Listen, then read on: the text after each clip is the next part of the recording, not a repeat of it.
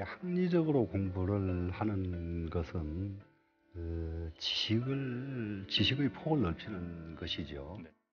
근데 지식이 넓어졌다고 해서 지식이 곧 인격화되는 건 아니거든요. 네. 그러면은 그 지식을 인격화하는 방법은 참선이 아니고서는 되지를 않습니다. 네.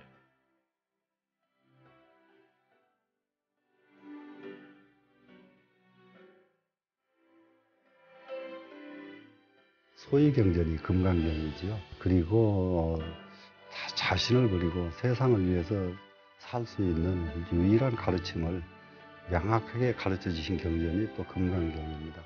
네, 그럴 적에 모든 사람이 좀 금강경을 수지로 속에서 이 세상에 좀 큰 등불이 되어줬으면 하는 그런 의미도 있습니다.